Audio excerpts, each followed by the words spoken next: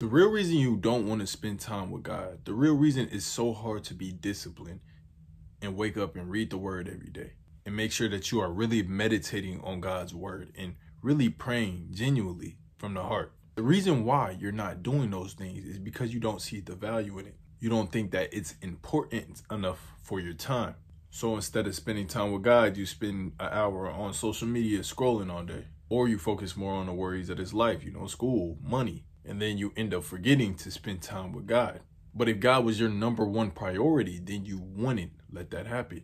You would make sure that you're reading the Bible in the morning, reading the Bible every single night before you go to sleep. Because it could be just like a relationship, a friend, or even spending time with family. Because that's a necessity to you, you spending time with your girl, or you spending time with your man, or you spending time with your family, because that's a necessity for you, you're going to make time no matter what if the job is taking too much of your time to spend time with your girl or your man or your family, then you're going to tell them to cut the hours. If you haven't spent too much time with your, your in your relationship or your family, then you're going to make sure that you spend time with them no matter what. You're not going to be worried about, you know, TikTok or Instagram or social media scrolling all day when you have something more important to do. So that's why in this video, I'll be telling you how to make God your number one priority in your life and five steps to be more disciplined with your relationship with Christ. And before we get into steps, the first thing you have to do is to understand God. In order for you to want to get into the word, want to spend time with God, you have to really understand why that's important in the first place.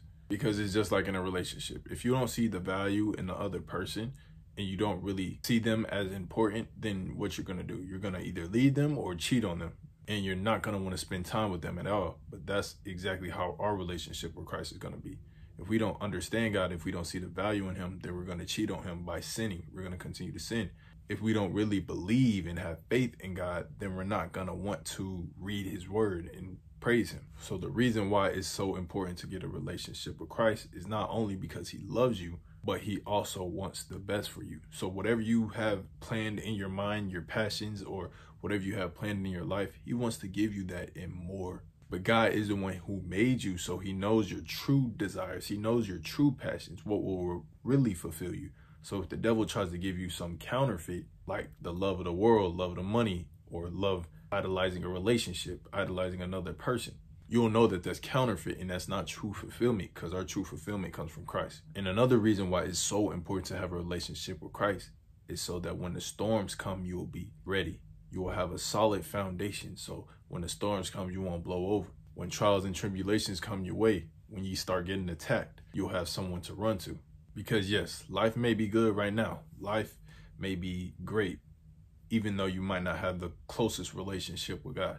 But there's going to become a time where you're going to really need God and you're going to have to run to him. And it's better if you already have that foundation in him before those troubles start to come. Obviously, the last one is he paid for your sins. He, he, he paid for your sins so he can have a relationship with you.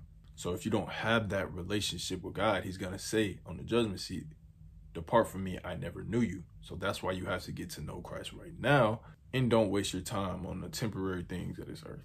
So now that you understand why it's so important to have a relationship with Christ, these are the steps to get discipline. Because it's cool to have motivation because you can have motivation, you know, to go try to make a million dollars, but it's discipline that lasts. So the first step to become more disciplined is by praying. Prayer is more powerful than you think.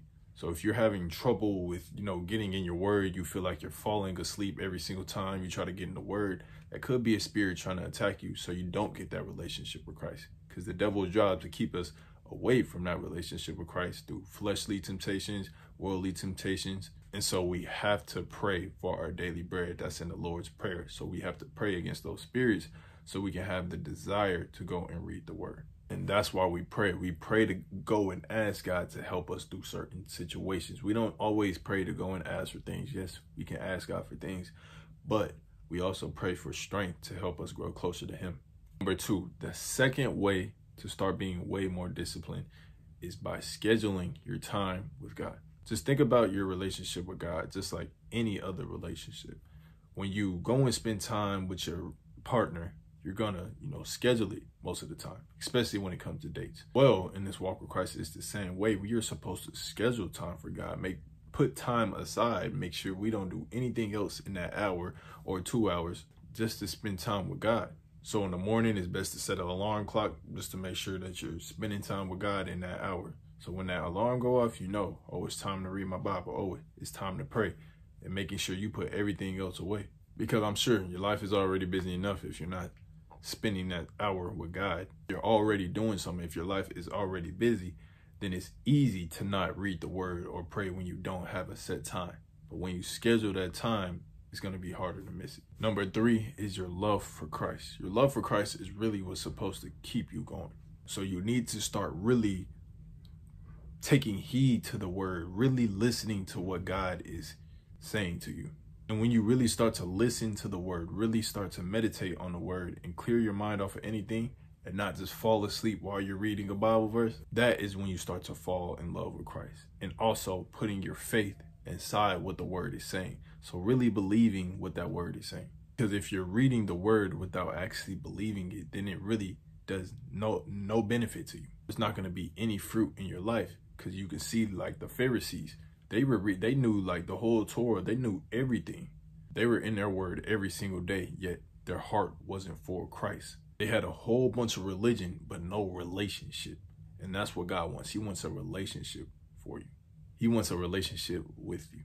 So make sure when you open that word that you are reading it to get to know him, really get to know his character, get to know how he lived, and reading the word so you can apply it to your life so you can live more like Jesus and serve at a high capacity like Jesus. Because God wants us to save souls. He wants us to read the word so we can apply it to our lives and save many souls. So we can be the light in this dark world.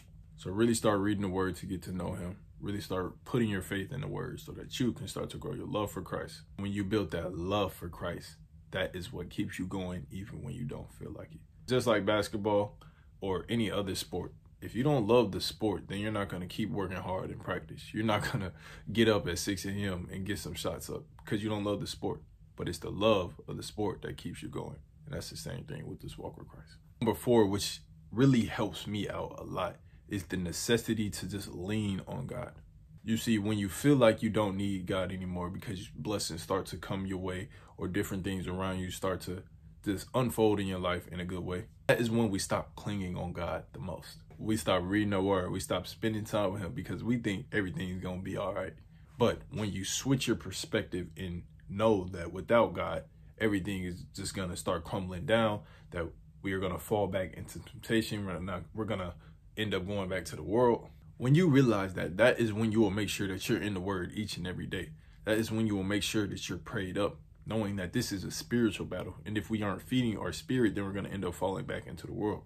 And when you also realize that that is the solution to all our problems, that is when you will start to seek the word like nothing else matters. That's when you'll seek the kingdom first and all its righteousness, knowing that everything else will be added on to you. Because it's a necessity, it's a need in your life. It's like water or food, you're going to need to eat that food or water to stay alive.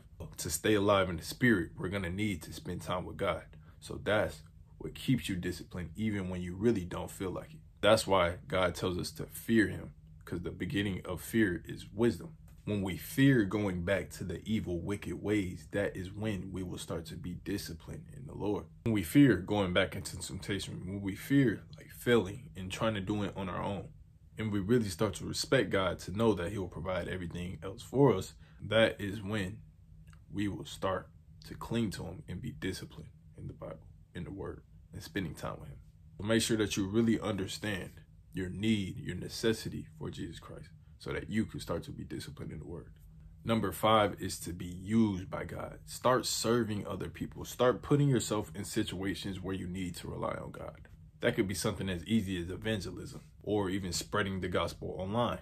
Because when you start to really be used by God, you don't want to be a hypocrite. You don't want to fall back into the world. And you're going to need to read the word so that you know what you're talking about while you're evangelizing the people, while you're serving other people, what we're called to do. Even if you know about Cliff, I don't know if anyone y'all know Cliff, but y'all should look him up if y'all don't if you know about Cliff and his story, he needed to read the word. He needed to study the Bible in order to know, in order to talk in front of people. Well, it would be the same thing with you. In order for you to start evangelizing, or in order for you to start start spreading the gospel online, then you really need to get in your word And that's why you need to find something that you need to rely on God for. Because now you have no choice but to run to Him and spend time with God. Or else you would fall back into the world, fall back into temptation, and you wouldn't know what you're talking about. So these are the five steps that you need in order to be disciplined with this walk with Christ. I know, of course, this all of this may not be easy and it may be a process because I know that's how I started. Always reading the word every single day. I wasn't always praying every single day, but I got to that point by realizing the necessity of reading the word.